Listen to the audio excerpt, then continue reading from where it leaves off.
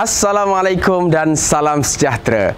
Pilihan Raya Kecil Don Seri Setia N32 menyaksikan pertandingan satu lawan satu di antara calon PAS dan Pakatan Harapan. Pegawai Pengurus Pilihan Raya, Datuk Muhammad Azizi Muhammad Zain mengumumkan demikian kira-kira jam 10.30 pagi setelah menerima borang pencalonan daripada Dr. Halimah Ali daripada PAS dan saudara Halimi Abu Bakar daripada Pakatan Harapan.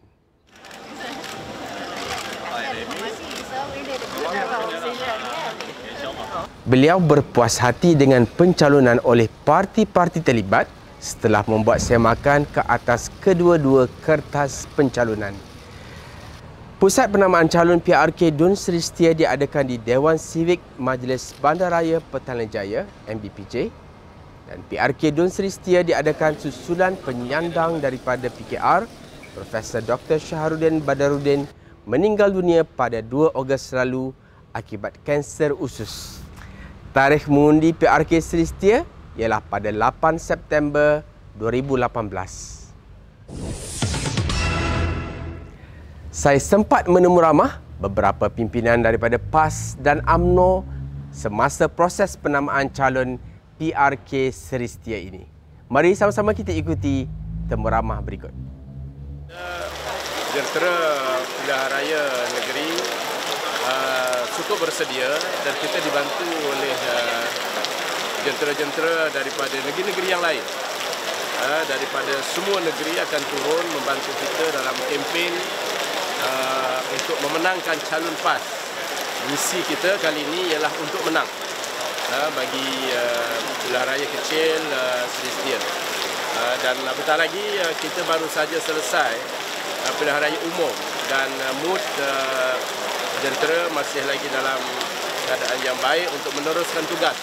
Jadi sudah tentu uh, latihan-latihan yang mereka telah perolehi dalam uh, kerja pilihan raya bagi umum tahun 14 baru-baru ini uh, masih lagi uh, segar dalam uh, pengalaman mereka dan akan diturun dalam menjayakan uh, pilihan raya Dun uh, uh, Sri ini dan semua uh, elemen portfolio telah pun kita selesaikan dan uh, jentera telah pun bersedia untuk melaksanakan tugas tanpa sebarang bayaran dan uh, keikhlasan mereka kami amat hargai termasuk daripada semua negeri-negeri yang akan membawa kontinjen petugas masing-masing uh, bagi menjayakan pilihan raya pada kali ini. Kita di peringkat bahagian uh, PJ ini bahagian PJ. Malam tadi Ketua UMNO bahagian telah pun memanggil kesemua ketua-ketua cawangan di bahagian PJ ini untuk memberikan taklimat dan juga memberikan arahan supaya UMNO bekerja.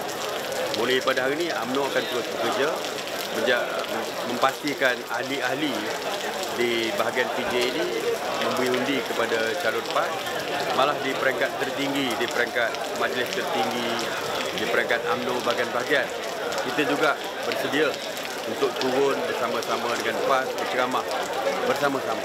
Satu pentas dan sebagainya untuk memastikan kemenangan calon ini malah wanita UMNO telah pun berbincang dengan telah pun bermesyuarat dengan muslimah PAS untuk sama-sama bekerja untuk menarik undi untuk menyokong calon PAS begitu juga dengan pemuda UMNO, puteri UMNO dan sebagainya telah pun kita bersetuju untuk digebelingkan supaya bekerja bersama-sama bagi memastikan PAS menang. Bukan kita beri laluan semata-mata tapi kita nak pastikan PAS menang di dalam PRK Malaysia.